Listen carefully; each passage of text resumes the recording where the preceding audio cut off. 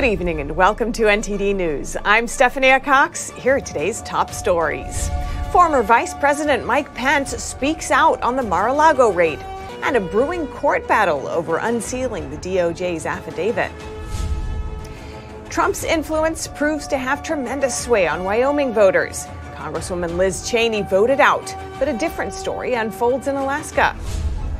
Two judges in the Kids for Cash scandal must pay enormous fines to their victims, one of the biggest judicial scandals in U.S. history. A group obtains COVID 19 vaccine test results on animal offspring, and their side effects on skeletal structures are raising concerns. A court overturns more than $200,000 in fines for a California church which had defied government orders to close during the pandemic. What the pastor has to say. NBA superstar LeBron James has signed a two year extension to stay in LA and sets another league record in the process. We'll detail how much it's worth.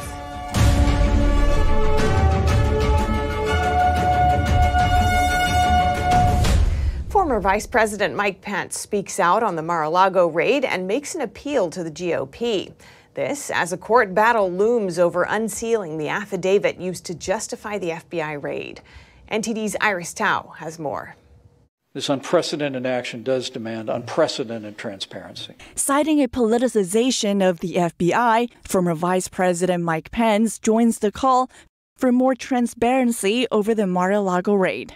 And in the wake of the four years that we endured with the politicization of the FBI, the American people have a right to know the basis for this that said, Pence calls on Republicans not to criticize agents working for the Bureau.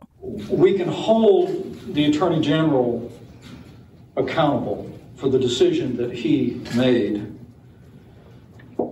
without attacking rank and file law enforcement personnel at the FBI. Pence's remark comes amid calls by some GOP lawmakers to defund the FBI, but other Republicans insist they're targeting its top leadership only. I think as a whole, the American public trusts our everyday rank and file FBI members. And I do not trust the levels of leadership that have politicized these great organizations of American justice. Trump, meanwhile, has compared the FBI and the Department of Justice to, quote, a common criminal, saying the agents, quote, grabbed everything in sight during the August 8th raid. He further accuses those he calls radical Democrats of using the two agencies to, quote, dirty up their opponents in elections. All this as a court battle unfolds over a sealed affidavit the FBI used to justify the raid.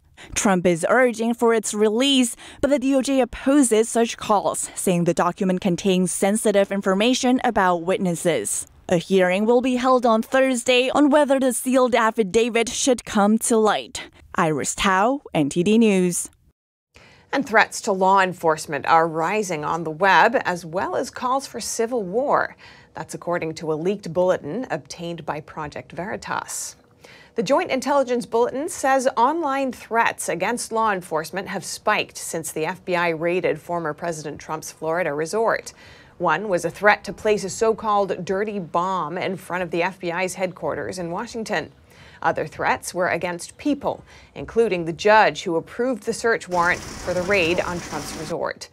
The bulletin also noted the armed man who tried forcing his way into an FBI office in Ohio last week.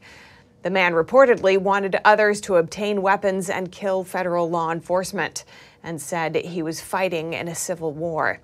The FBI didn't make a copy of the bulletin available, but said they're always concerned about threats against law enforcement.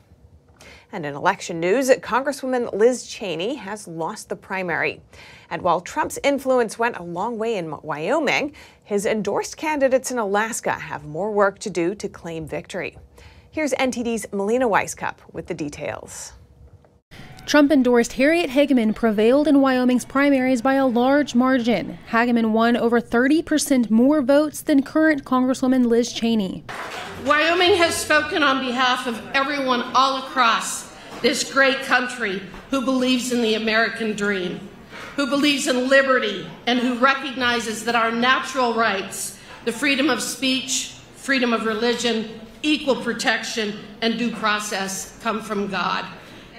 She's now up against Democrat candidate Lynnette Grey Bull. They'll compete for Wyoming's single seat in the U.S. House of Representatives. But she says she has bigger goals in mind. That I will do whatever it takes to ensure Donald Trump is never again anywhere near the Oval Office, and I mean it. The great and original champion of our party, Abraham Lincoln, was defeated in elections for the Senate and the House before he won the most important election of all. The defeated Congresswoman is now considering a run for president in 2024. Trump, commenting on her loss on Truth Social, wrote, Now she can finally disappear into the depths of political oblivion, where I am sure she will be much happier than she is right now. Now, Congresswoman Liz Cheney is only one of two Republicans currently sitting on the January 6th Select Committee. Her and Congressman Adam Kinzinger, neither of which will be returning to Congress come next year. Now, what's interesting about last night's primaries with Cheney's loss, this now means that only two of the 10 Republicans who voted to impeach former President Donald Trump will be holding on to their House seats. That's Congressman Dan Newhouse and Congressman David Valadao. The other Congress members are leaving, four of which are retiring. The other four lost their primaries. Now, while Trump's endorsement is showing to hold ground in Wyoming, voters in Alaska are less convinced. Trump campaigned for Kelly Tshibaka to replace Alaska's Senator Lisa Murkowski. Both candidates will move on to the midterms because of Alaska's unique ranked choice voting system. Murkowski won around 2,000 more votes than Trump endorsed candidate Tshibaka. And so I hope that we do not become the party of one person. I hope that we do not become the party of Donald Trump. We need to be the party of those strong values. As for Alaska's single House seat, the Democrats are favored to win. Moving on to the November election is Democrat Mary Peltola, who's leading by a few percentage points over Trump backed candidate Sarah Palin. Reporting in Washington, D.C., Melina Wisecup, NTD News. And Rudy Giuliani testified before a special grand jury in Atlanta today. He spent six hours at the courthouse. It's part of a Georgia criminal probe into potential election crimes. Giuliani represented Trump during the 2020 election. He told reporters that he would not comment on the Georgia investigation until he knows more about it. Do you believe President Trump is the ultimate target of this investigation? I'm not going to comment on the grand jury investigation. What do you think their ultimate Until goal I is know here? more about it. What, what are you expecting to talk about here today? Well, they ask the questions and we'll see. Will you be cooperative? I mean, you're attorney in New York. Grand jury testimony is closed to the public and press. Giuliani's lawyer, Robert Costello, told news outlets this week that Giuliani has become a target of the criminal probe into the 2020 election. Costello said that his client would not answer any questions that would violate attorney client privilege. And two former Pennsylvania judges are ordered to pay over $200 million for one of the worst judicial scandals in U.S. history. They allegedly sent children to for profit jails in exchange for kickbacks. U.S. District Judge Christopher Connor ordered two former judges, Mark Ciavarella and Michael Conahan, to pay $206 million to nearly 300 people that they victimized. In what came to be known as the Kids for Cash scandal, the two judges shut down a county run juvenile detention center and accepted illegal payments from the co owner of two for profit jails. Between 2003 and 2008, Ciavarella presided over juvenile court and pushed a zero tolerance policy. It guaranteed that large numbers of kids, some as young as eight, would be sent to the two facilities. Ciavarella is currently serving a 28 year prison sentence in Kentucky, and Conahan is under home confinement. And a study shows that mRNA vaccines can have an impact on later generations. In a test by Moderna, some of the lab rats that got a COVID 19 vaccine gave birth to pups with deformed ribs. NTD's Jason Perry talks to a maternal fetal medicine physician to find out more. Judicial Watch, an organization that promotes government transparency and accountability, obtained reports from Moderna's COVID 19 vaccine trial on animals. During the study, female rats were given human doses or 100 micrograms of the mRNA vaccine, two before and two during pregnancy. The test results showed that about 4% of their offspring had statistically significant skeletal malformations, specifically abnormally wavy ribs. I spoke with Dr. James Thorpe, a maternal fetal medicine physician who is also board certified in obstetrics and gynecology. The most important thing here uh, to know is that these were f- formal reproductive toxicology reports from the pharmaceutical companies or the medical industrial complex. And the extremely important finding here is that they attempted, I would presume, in that they hid these findings from the American people. Although it is not known how the dose translates from rats to humans, Thorpe explained that side effects for pregnant women who take the COVID 19 vaccine is nothing new. He alluded to a paper that analyzes adverse reaction reports for Pfizer's COVID 19 vaccine. The paper was posted online by public health and medical professionals for transparency. So on page 12, 274 pregnant women exposed to this, 75 of them experienced serious adverse event in their own terms. Serious. That's 75 out of 274. Uh, if my math is correct, that's 27%. And in addition, there were another 49 patients that had non serious complications. So that brings you to a grand total of, uh, if my math is correct, 124 complications out of 274 patients that were administered the vaccine. Jason, that's not safe. That's deadly. That's a 45% complication rate. The CDC currently advises pregnant women to get the COVID 19 vaccine. We reached out to the CDC for comment but did not hear back before airtime. Jason Perry, NTD News. And in a big win for religious freedom, a California church on Monday was relieved of fines it owed worth more than $200,000 for holding indoor services during the pandemic. The 6th District Court of Appeal found the order by a Santa Clara County Superior Court to be unconstitutional. Earlier today, I spoke with Calvary Chapel San Jose's pastor Mike McClure, who's the senior pastor of the church, for his response. Pastor Mike McClure, welcome to our show. Thanks for joining us. Thank you very much for having me. Now, your church had a big win this week. How does it feel to have those fines dropped? Well, I mean, it's nice for the country. I think of the First Amendment as something that is really at stake more than our church or me personally. It's really about what does America want to be going forward, and um, I'm thankful that we have a judicial system that sees what the founders saw. That really, the First Amendment is something that should be first in the Bill of Rights, and that is um, that we have the freedom to worship together. And so I'm very thankful for that aspect, and looking forward to. Um, you know what this is going to do for the church overall going forward, and so it's uh, it's a blessing. And what's the feeling among your congregation? Well, these are people who were afraid to come to church for so many reasons, but the biggest reason wasn't from catching COVID, but it was from getting arrested or you know just all the uh, the fears of what actually they were threatened with, you know, whether directly or indirectly. But I think people are really blessed to know that we still have a country where they can worship God freely and the government's not taking the place of God uh, in in in their lives and their worship. So they're, I think they're very happy. You know, they're thankful. I get a lot of uh, text messages and phone calls and people that are relieved to know that hey, this is something that we we still have the right to to worship, to help people. To, to gather together, to do what the Bible tells us to do in Hebrews chapter 10, that we're not to forsake the gathering together of the saints as the manner of some, but we need to do it how much more as we see the day of, of Christ's return. So I think people are, are really needing church today uh, more than ever. And the gospel is what the world really needs, especially in America. You know, we've turned so far away from it. We don't know our own history. We don't know who Christ really is, what he came to do. And so I'm blessed that we get to present that and, and uh, gather together still. And as you mentioned, this case strikes at the core of religious freedom In fact, it could have gone the other way, and plenty of other churches chose not to stay open during the pandemic. Why did you choose to stay open despite the fines piling up?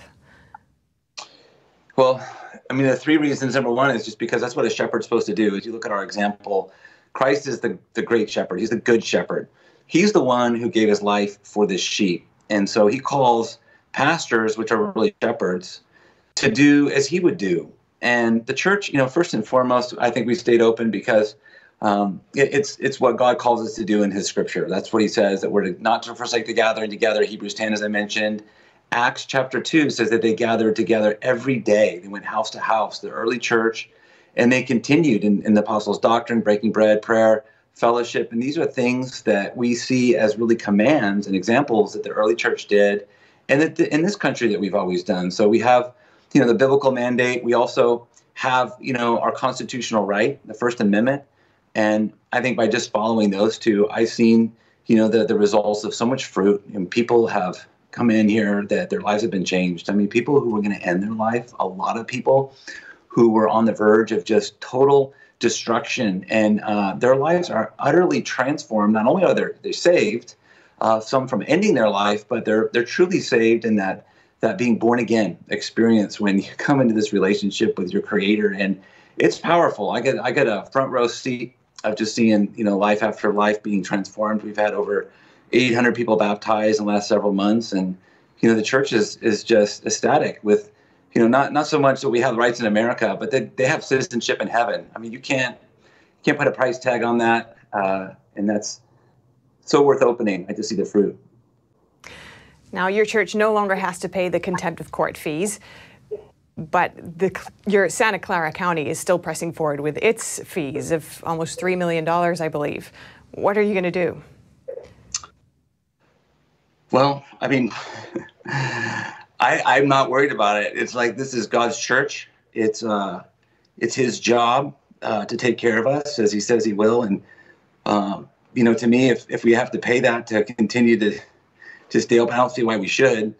I think it's completely unconstitutional. So I honestly haven't even thought about it. I stopped thinking about what they say a long time ago. And I, I just think, like in court, you know, when the judge was asking me to do the things that they asked. And I said, You're asking me to choose between obeying God and man. And he knew that. He knew the scripture in Acts where Peter and John were asked the same thing is it better to obey God or man? You be the judge. And, and that's a predicament he's putting Christians in, pastors in, churches in, you know, the government. And we need to stand up and just say, You don't have the right, you don't have the authority. And, you know, I, I don't believe that we owe them anything. So, to finish, do you have any message for other churches who may face similar fines? Yeah, it's worth it. You know, when you stand before God one day, you want to hear him say, Well done, good and faithful servant. And, you know, we're all going to die. I mean, whether we die from COVID or whether we die from, you know, cancer, the reality is that we recognize that our life is, is really just a vapor, like the Bible says. And that's why Christ came. He came that he who knew no sin, the Bible says, became sin for us, that we might become the righteousness of God. And when someone really understands that, like I told the judge, I'm not going to stop. You're just going to have to kill me. I mean, I, I, that's the reality. I think uh, my Christian brothers and sisters in China, many in our church, they're from uh, different countries, and they, they were the most outspoken, saying the things that they did in their countries to really manipulate the news, to, to control the fear. And we need to understand that, you know, it's not about safety, uh, which really is masquerading as, as, as tyranny but it's really obeying God. It's doing what God wants because He's the one that we're going to stand before, and He's the one who's going to reward us. All right. Thank you, Pastor Mike McClure. You're most welcome. Thank you. Up next, the Boston Children's Hospital comes under scrutiny. People allege that the hospital offers cross sex surgeries on minors. And a state prosecutor in Florida sues Governor Ron DeSantis for suspending him. He says DeSantis abused his power. Stay tuned for more here on NTD News.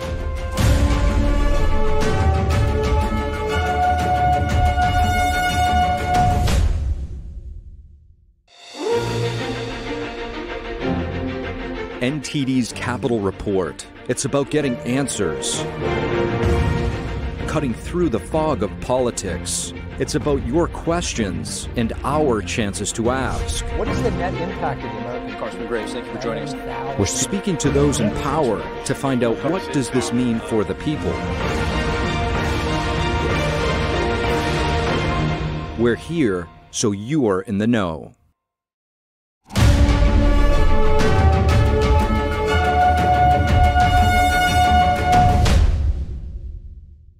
The Boston Children's Hospital is being scrutinized for allegedly performing cross sex surgeries on minors. The hospital responds saying it's being threatened by far right groups. Here's that story. A video from the Boston Children's Hospital went viral last week. In it, one of their doctors explains hysterectomies. A hysterectomy itself is the removal of the uterus, the cervix, which is the opening of the uterus, and the fallopian tubes, which are attached to the sides of the uterus.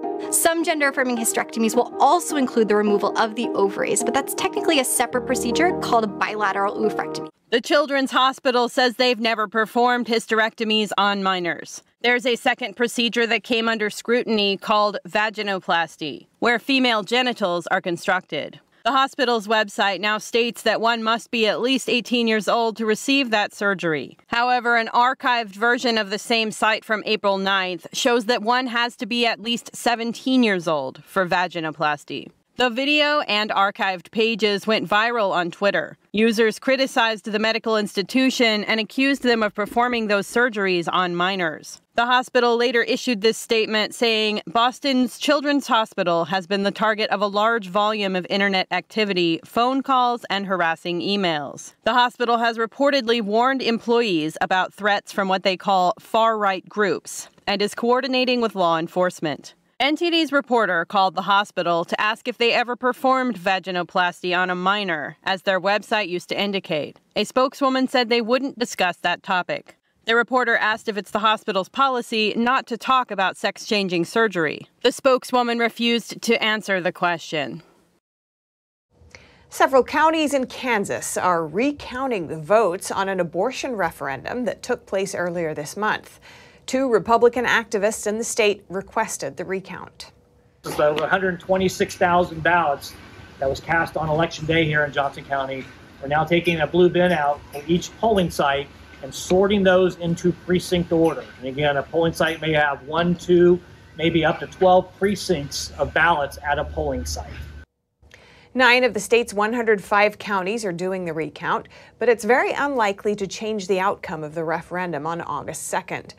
Voters in the nine counties cast roughly 59% of the ballots. And the ballot measure was rejected in the nine counties with a margin of 31 percentage points.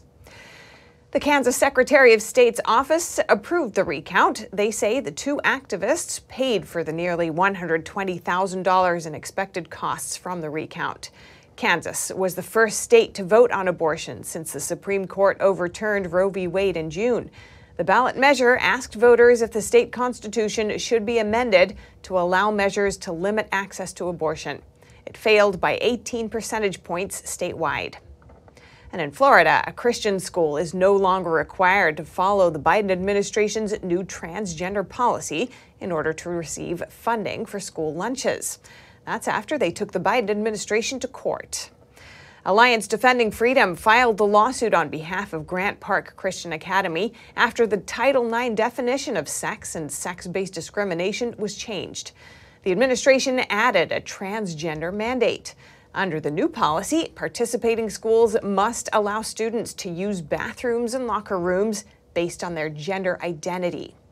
The Academy agreed not to discriminate based on sex, but couldn't comply with the new mandate due to its religious beliefs. After the lawsuit was filed, the Biden administration granted the school's request for a religious exemption. And a former Florida state attorney is suing Governor Ron DeSantis. He says DeSantis abused his power by suspending him, but DeSantis says the lawyer wasn't doing his job. Here are the details. Former Florida State Attorney Andrew Warren was suspended by Governor Ron DeSantis earlier this month. He filed a federal lawsuit against DeSantis on Wednesday. DeSantis said he suspended Warren for neglect of duty after Warren pledged not to enforce laws restricting abortions and cross sex surgeries for minors. Here's what Warren has to say. The governor has broken two laws. He's violated my First Amendment rights by retaliating against me for speaking out on abortion and transgender rights, and he's violated the Florida Constitution by removing me from office without any legal justification, throwing out the results of a fair and free election. Warren says he has never had a case on these issues come before him and that he simply exercised his right to speak out against them. He also calls the ban on abortion unconstitutional. Here's what the governor said about Warren when he suspended him when you flagrantly violate your oath of office, when you make yourself above the law, uh, you have violated your duty, uh, you have neglected your duty, and you are displaying a lack of competence uh, to be able to perform those duties. Warren is asking for donations, saying we must fight back now against Ron DeSantis' abuse of power. The governor's office said they are not surprised that Warren would file a, quote, legally baseless lawsuit and that they look forward to responding in court. Reporting by Allison Lee, NTD News. A new New York state law bans guns in sensitive locations. Locals in the Ad- Adirondack Mountains are worried the law will infringe on their way of life. The sound of gunfire is nothing new in New York's Adirondack Mountains, where hunting is common. But many locals are worried their way of life will soon change after the U.S. Supreme Court in June established a constitutional right to carry weapons in public, New York lawmakers created a long list of sensitive locations that turn many places into gun free zones, including big chunks of the Adirondacks. Come September 1st, having any kind of firearm in newly restricted places like bars, concert venues, and also parks will be a felony. If the state law is interpreted as meaning a firearm can't be on state land, I can't drive here. Hunting is a way of life for Rick Bennett, whose house is in the middle of Adirondack Park, which covers a fifth of New York's landmass. Bennett sells guns and fishing tackle from his store in North Creek. He has issue with private property becoming a restricted location if owners don't post signs saying guns are welcome because basically you're telling me I can't go anywhere unless there's a sign, unless everybody posts a sign that says handguns are welcome here. I can't go.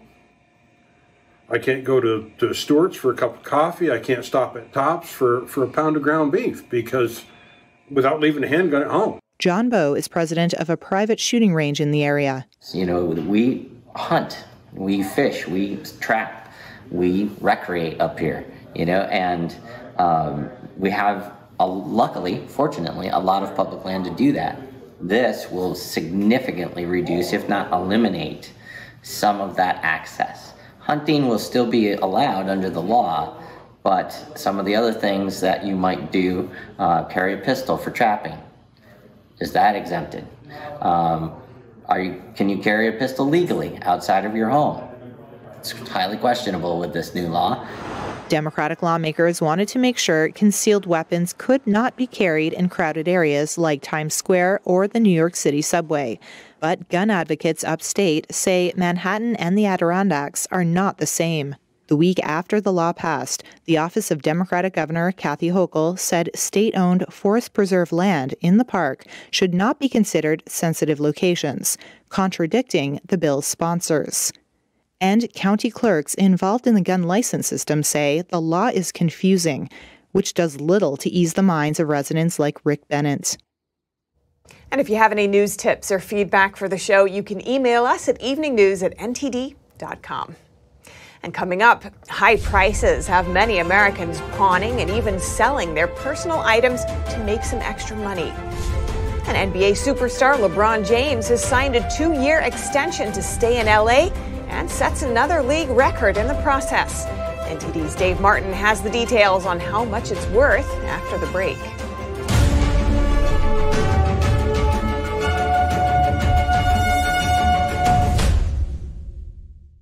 I'm so blessed to have been given the opportunity to take a refuge in America.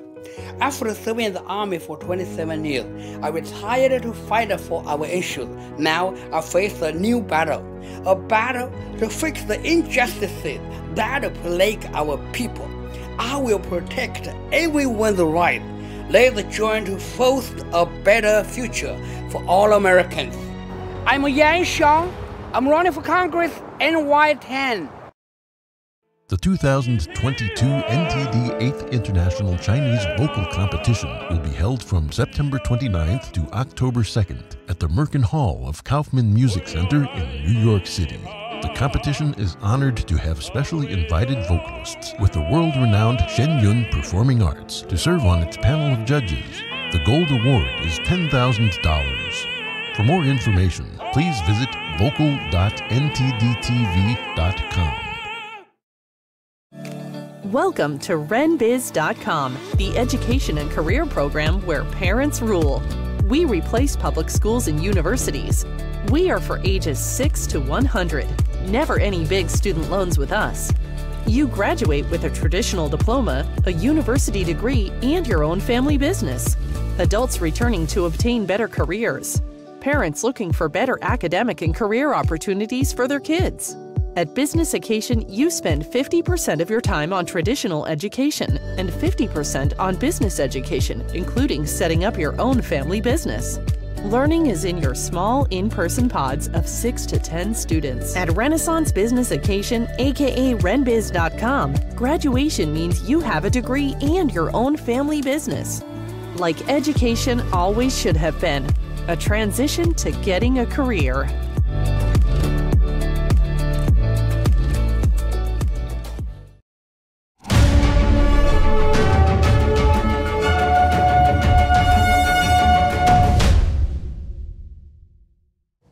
Welcome back. It looks like many Americans are keeping close watch on their wallets. Retail sales in July were flat compared to the month before, according to a Wednesday report from the U.S. Census Bureau. This also marks a slowdown from June when retail sales increased by just under 1%. Analysts say consumers are spending more on basic needs and less on discretionary items. And on a related note, Target says profits plunged 90% during the second quarter, well below expectations. Target relies more on discretionary items compared to Walmart, which beat profit estimates for the same quarter. And with prices skyrocketing for everyday essentials, not only are people starting to buy fewer things, some have turned to selling their personal items to make some extra cash. NTD's Phil Zhou has the story. Some people are turning to pawn shops and online stores like eBay to make some extra cash. I just sold my car. A quick flip to get some money into our bank accounts. For our customers coming in wanting to sell us items has increased. Bob Moten is the owner of over 20 pawn shops in North Carolina called National Pawn. Because of the inflation, that, that the gas is so high and maybe their rent is up or their power bill is up. And so we are seeing more people selling than buying as compared to about three months ago. And it hasn't been easy for Moten either. He says salaries for his 200 workers have gone way up. A used television is worth what a used television is worth. I cannot increase my prices. Our payroll is up 16% year over year. We cannot pass those increases on to our customers. And likewise, when people bring us items, we have to be very competitive to pay for those items. We cannot just offer them less and expect them to sell them to us because there's so many other avenues. And one of those avenues is reselling your personal items online. I spoke to resale specialist Pinky Chong, who sold thousands of items online in the past decade. If you're going to resell items uh, from your own closet or from just things around the house, that alone would be enough inventory for for anyone really to have quick flip to get some money into our bank accounts. Chong says it's easy to get started by using sites like eBay, Facebook Marketplace, and Poshmark. And reselling items is taking off outside the US too. August Gowan in the United Kingdom just sold his car a month ago. Gowan says car insurance and gas were getting too expensive. I was able to put some money into savings, which makes me feel a bit more secure, and also put some money um, into my business um, to help me buy things like equipment. Gowan says for people who are buying, they're spending less than in the past.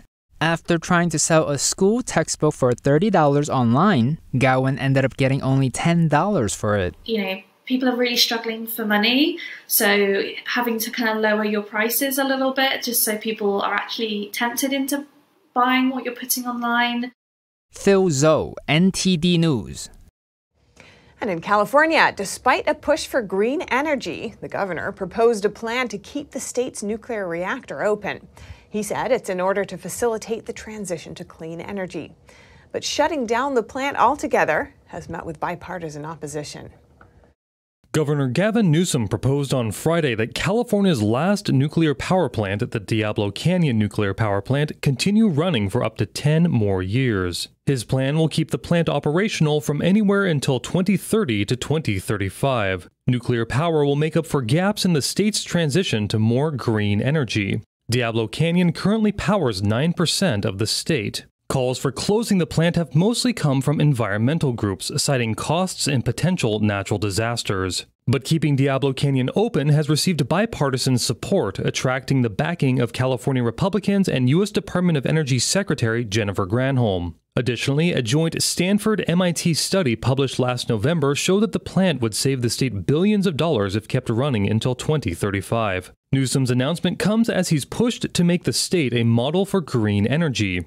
Jim Phelps, a California utility expert, previously warned EpochTV of the state's pursuit of becoming green. He mentioned greenwashing. When states like California cannot produce enough green energy, they buy out of state brown energy and use legal loopholes to relabel it as green. Under the new proposal, one of Diablo Canyon's nuclear units would close in 2029 and the other as late as 2035. Daniel Hall, NTD News, California.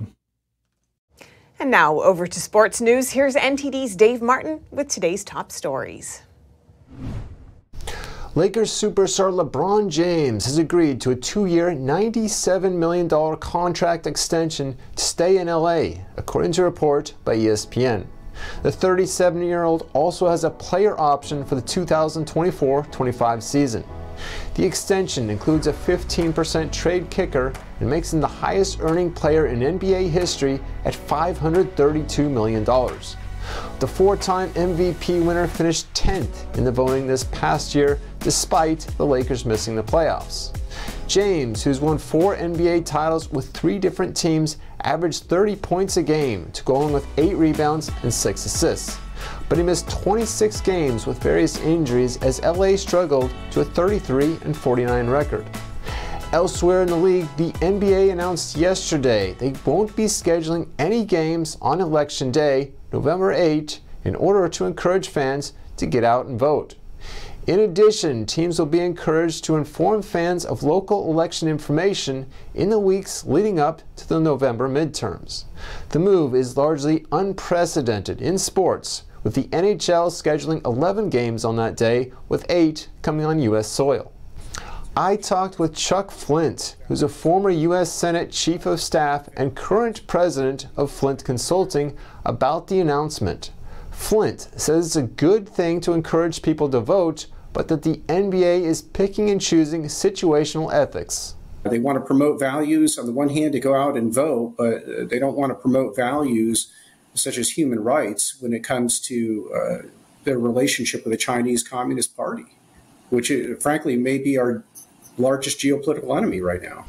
Flint notes specifically that the league has a multi billion dollar contract with China, but doesn't seem particularly concerned about the human rights atrocities committed over there. The NBA was running training camps for, uh, I believe, Chinese basketball players in Xinjiang, where you've got a Uyghur genocide going on. Uh, thousands of uh, Uyghur Muslims are being killed and put in re education camps. It's not exactly a secret. And, and I think that's what rubs people the wrong way. The NBA season will start on October 18th. In tennis news, Serena Williams lost in straight sets yesterday in the first round of the Western and Southern Open to 13th ranked Emma Raducanu in what could be the next to last tournament of her storied career. The 40 year old Williams hinted last week in an Instagram post that the US Open might be her final tournament before retiring. Williams missed nearly a year with a leg injury before coming back for this year's Wimbledon. But she lost in her Wimbledon opener and then followed that up with a second round loss in the Canadian Open, and now has a very uncharacteristic 1 3 record for 2022. Up next, though, is the US Open, a tournament she's won six times previously. That's all for your sports news today. Back to you, Steph. Thanks, Dave. And coming up, China's investments in Mexico are growing rapidly, and they're avoiding Trump's tariffs in the process. And the Dutch government is sticking to its plan to drastically reduce livestock even after months of farmers' protests. We hear from a Dutch opposition leader who says the forced buyouts of farms is getting close. That and more after the break.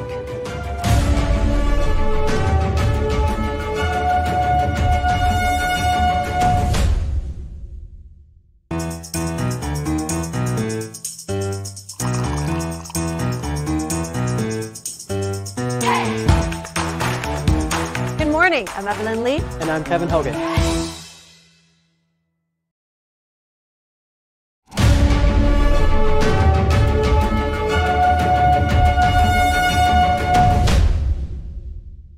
China has been avoiding former President Trump's tariffs by making things in Mexico instead. And it stepped up those efforts by 76% last year. NTD's Colin Frederickson has that story.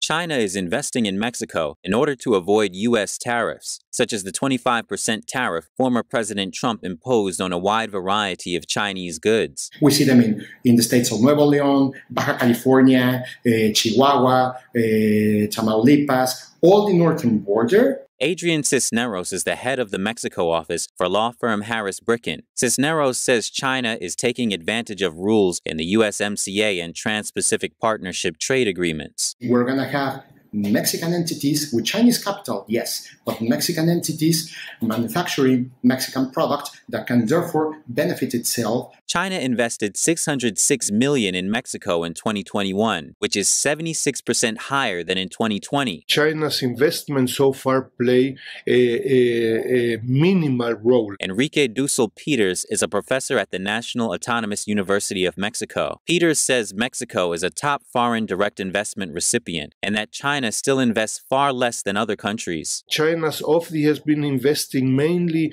in the manufacturing sector, no? in auto parts, automobiles, telecommunications, electronics, uh, historically and also more recently. No? Peters says this is because Mexico has been specializing in these things for the past 20 to 25 years. A lot of this is in what we'd call strategic investments, infrastructure, communications, courts, these areas that will give control and leverage over the recipient nation. Fergus Hodgson is the director of Econ Americas, a research firm that focuses on the Americas. He says China isn't just after profit, it also has expansionist ambitions. The leverage is becoming more and more apparent with the, the Chinese or Communist Party regime ex- asserting itself and having an impact on local politics, including having, let's say, trade zones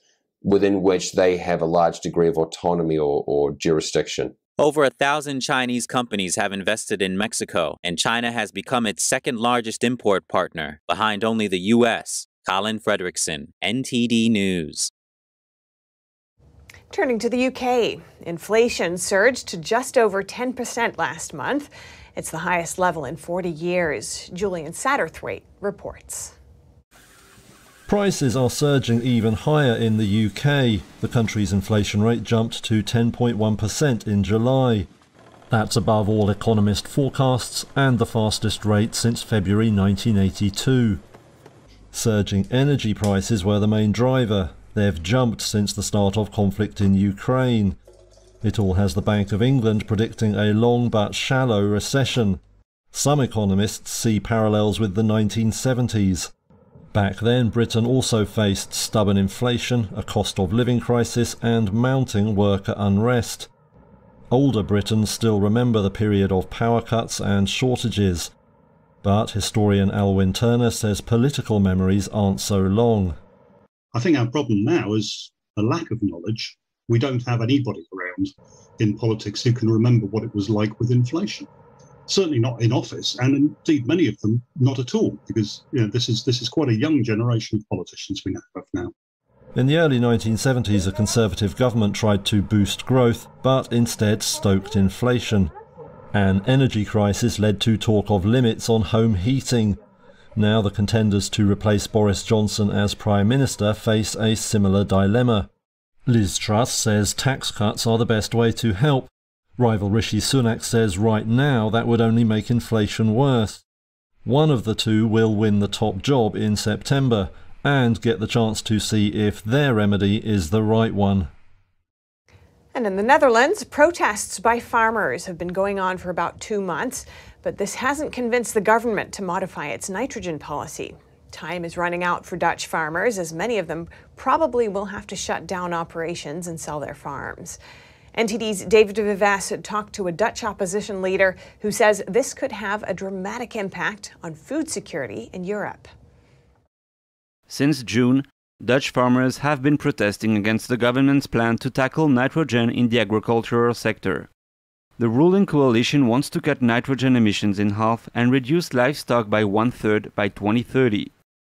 Several farmers told us they don't have a choice but to close their operations and sell their farm to the government, including having to sign a paper saying they won't open a new one. According to Dutch opposition leader Thierry Baudet, the moment when authorities will reach out to farmers who did not comply with the government's policy is close. We're not yet at the stage where policemen are actually taking farmers out of their houses, but letters are being written with the terms and conditions of the expropriation. So it really it is underway uh, in a very real sense. Several groups of farmers proposed alternative ways to cut nitrogen emissions, but the government has ignored their suggestions. The farmers' protest tactics of blocking roads, dumping manure on motorways, or setting fires alongside roads didn't succeed in drawing the government's attention to their case. Baudet says the farmers' pressure wasn't enough we have seen um, lots of demonstrations. We've seen moments where farmers put uh, dirt or, or, or sand on traffic uh, uh, on roads on highways to to block the traffic. Uh, we so we have seen lots of uh, eruptions of um, moments where the media reported how how angry the farmers were. But we've not seen the farmers really putting their power to to use and um, and creating a national strike. So I'm I'm very pessimistic still. I think these these plans are going to go through. I think the government is going to expropriate about 40% of all the farmers in the Netherlands. Similar policies aiming to cut nitrogen emissions in the agricultural sector have been implemented in Canada, Germany, and Sri Lanka. In Sri Lanka, a reduction in agricultural production which was compounded by a shortage in fuel and fertilizer, has pushed over 6 million people into food insecurity. Baudet says nitrogen policies are part of a global agenda, and a reduction in Dutch farmers' production will weigh heavily on Europe, as the Netherlands is the second biggest agricultural exporter in the world. The Netherlands is one of the largest food exporting countries in the world. Um, so that will definitely disrupt the global supply chains. But of course, um, what's happening in Ukraine is disrupting the global supply chains. What happened during COVID for two years has disrupted global supply chains. The climate agendas, uh, all of these policies, they they come together in what can be called a perfect storm, and we're heading for it. And nobody can predict exactly when it will hit us, but it will hit us fast and it will hit us hard. He also says the hike in energy prices will eventually impact global food production and prices even more. David Vives, NTD News. Coming up, we explore an Italian inspired castle in California. NTD's Eileen Ang hears why and how the owner built it. That and more when we return after this short break.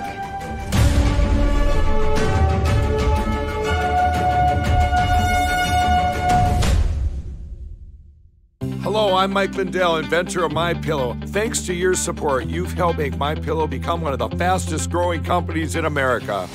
Over the last 12 years, you've helped My Pillow create thousands of jobs right here in the USA. When I got My Pillow, I'm asleep almost immediately. I stay asleep at night and I wake up more well rested in the morning. That's why I invented My Pillow. My patented fill adjusts to your exact individual needs and helps keep your neck supported and aligned. I'm interrupting this commercial to bring you my BOGO extravaganza. For example, you get one of my Giza Dream bed sheets and you get a second set absolutely free. Or my six piece towel sets. Buy one set, get another one absolutely free. Or get my classic premium My Pillow and get another one absolutely free. So call the number on your screen or go to mypillow.com and use your promo code to get my buy one get one free offers and get deep discounts on all my pillow products.